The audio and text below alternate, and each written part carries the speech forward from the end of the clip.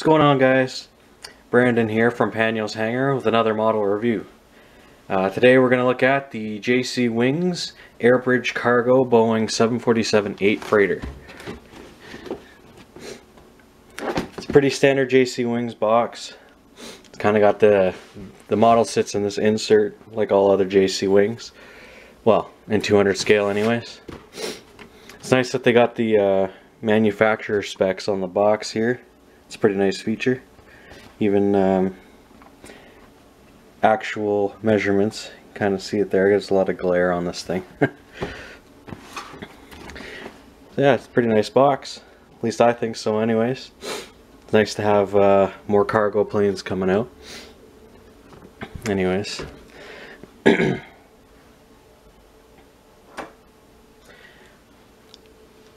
so here is the model. See, it's pretty nice looking. Got the, the colors look pretty accurate. Having only seen uh, ABC once in my life, it looks pretty accurate anyways. Uh, their 747 mold is pretty good. dimensions seem right and the, um, the curves and the lines and everything seem mostly correct.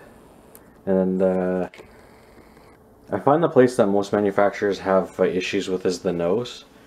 Uh, the 747, it's been around for a long time, so and it's pretty popular, so they've had lots of lots of chances to uh, edit it.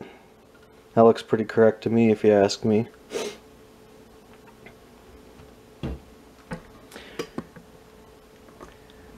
So uh, the only real issue I have with this model, really, is that. Um, the cargo door seems like it's printed too high compared to the front door, the main exit. So I'm going to do a little experiment here. Just hang on a second.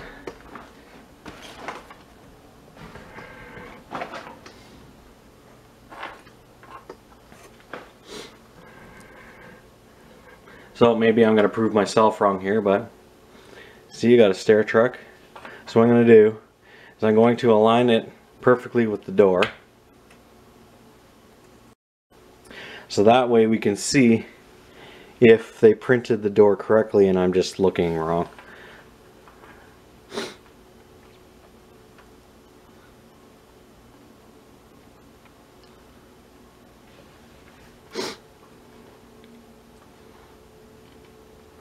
Okay, so that's pretty much pretty much right at the bottom of the door sill there. So now, without touching the stair truck so that I don't accidentally move it, let's just see if the door is correct.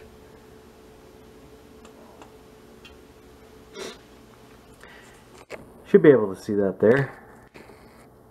It is maybe a couple cent, maybe like at most two centimeters too high. So, I mean, it's it's not really enough to make you really be too upset about it. But when I was just holding it in the store, it seemed really noticeable. So, if you're that kind, if you're that um, nitpicky about stuff like that, then uh, obviously it's going to be an issue for you. But for me, I'm more looking at the overall, what the model looks like overall, so I think it looks really good. 747-8 is my second favorite aircraft after the 737-200. Let's get a nice peek at the other side here. Also this livery, it's pretty damn striking if you ask me. Blue might not be my favorite color, but it's definitely looks good on uh, on this plane.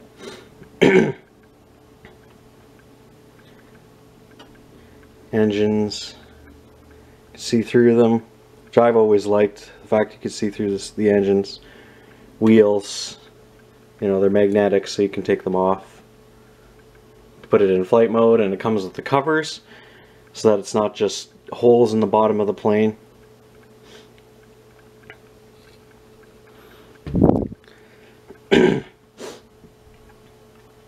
So yeah, so uh, another new another feature about this model is uh, it's the first it's the first model to come with a stand like this. This is JC's new new stand, which is probably why the model was so expensive. Um, the store that I got it at was two. Hang on, it's on the box here. 207.95 Canadian, so it's about 170 US.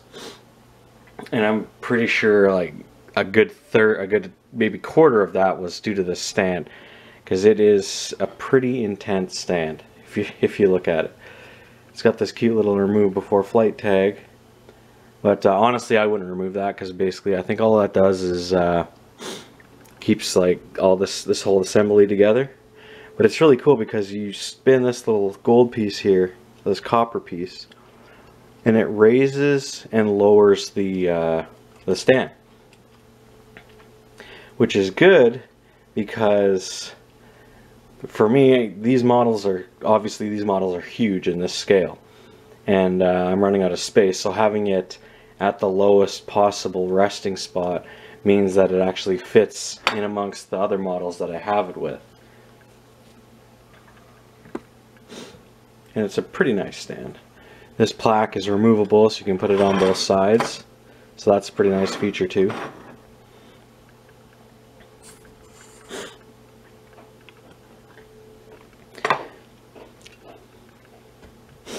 So if you've watched my uh, FedEx A300 video, you'll know that I really like cargo. And I sort of gave an explanation about why. But uh, I haven't really given the full story because it's one of those things that happened so long ago. You, you remember it one day and you don't remember it the next day, you know, that kind of thing. So, um, obviously, as you've seen in my other model review videos, I have a airport set up for my models that I like to interact with and stuff because just because I'm a certain age doesn't mean I have to stop playing. you know? And I know these are models and you shouldn't be playing with them, but maybe they shouldn't have given them rolling landing gear. you know? So anyways, so when I was younger, I used to have uh, an airport made out of cardboard boxes and styrofoam uh, inserts uh, that I would use with the uh, the old those toys, those toy airplanes that aren't to scale or anything, don't even look really right.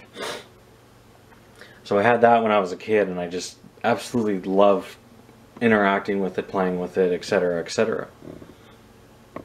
So one Christmas, I think I was, I think I was 14, and uh, my parents got me a one of Herpa Wings 1500 um, airport starter sets. Um, if you don't know about them, I would advise you to just do a quick Google search. Just uh, Herpa Wings airport uh, starter kits. They used to sell so many of them when 1500 was a, a lot more popular. I think it's, I think this, the, uh, this has gone back, gone to more 400 scale and 200 scale because you don't see too many 500s coming out anymore. It's mostly just Herpa that makes the 500s. But anyways, so they got me the starter set, and the starter set was the cargo area.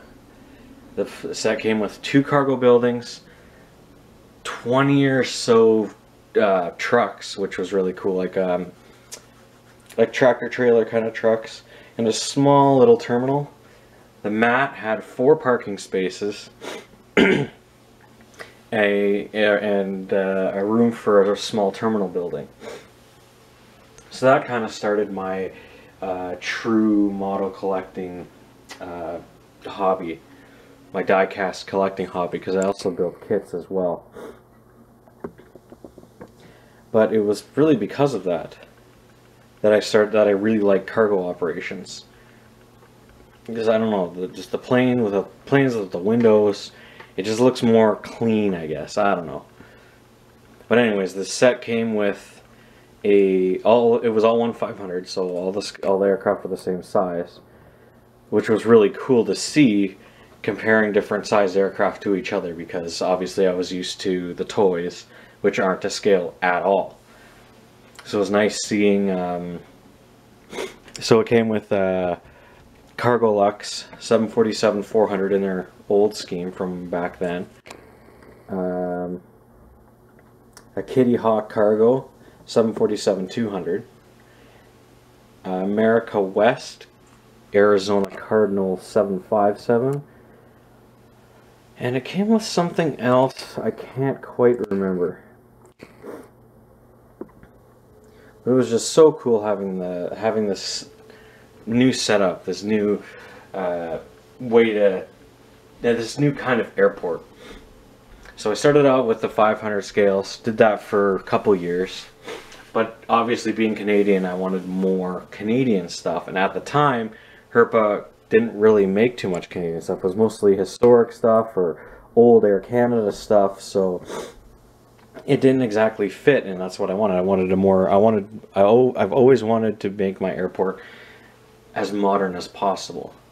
So uh, I went up to 400 scale, and I did that for a really long time.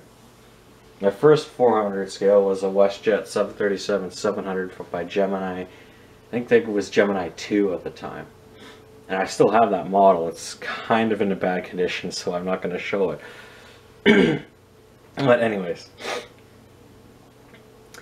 Uh, and then a few years ago, I think it was actually maybe 2018, late 2018, I decided I wanted to go up to 200 scale. And the reason for that was being, when I had my 400 scale airport, it was massive.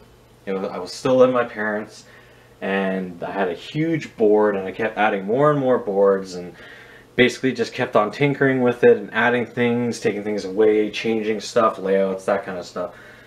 So I, I, but when I moved out, I didn't really have that kind of room.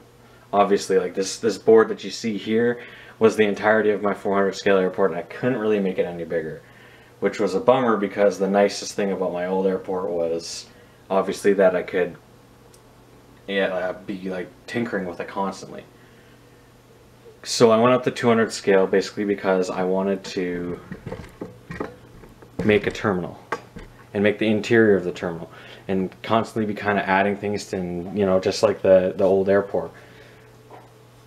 Because uh, cause it's just like, that's just what I like to do while I'm waiting for flights to come in and out because I do have a schedule for this airport.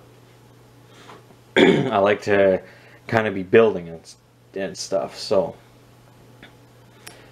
So yeah, so that's why I went up to 200 scale. Plus, it's a little easier to interact with these with these types of uh, with this scale.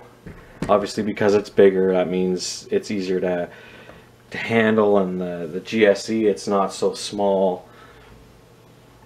And uh, another thing is they make a lot of there's a lot of kits in 200 scale, like this WestJet. Like this WestJet is a Hasegawa kit. So that means I it's all plastic and I built it all myself. I painted it all myself deckled it all myself. Because um, in this scale, I don't really like to buy new and then convert it to other stuff. Like this, this swoop used to be a Pobeda 737 that I got on, I think 60% off, which made it only like $40, which is like a brand new 1 400 scale model nowadays and I just didn't want to, I just don't like converting brand new models because it's too expensive.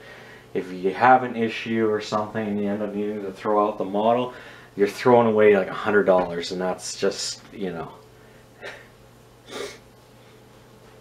But anyways, so that's a little bit about, um, about me and my collecting, why I like cargo so much, and obviously our 747-8 freighter which um, it's the first brand new JC Wings 200 scale plane that I've bought. I guess wide body. The brand most first brand new wide body I've bought. Because normally I wait a while, the price will come down, or the stores that I go to will have sales on, and then it's more worth it. You know, working as a ramp agent at the airport, I don't make the greatest money. So obviously I can't be spending this amount of money every single time new models come out. But um, this one was kind of, as soon as I saw it in the store, I knew it's just, had to have that in my collection because cargo is just such a big part of my life and there's not so many in my in this scale. So that's why I went for.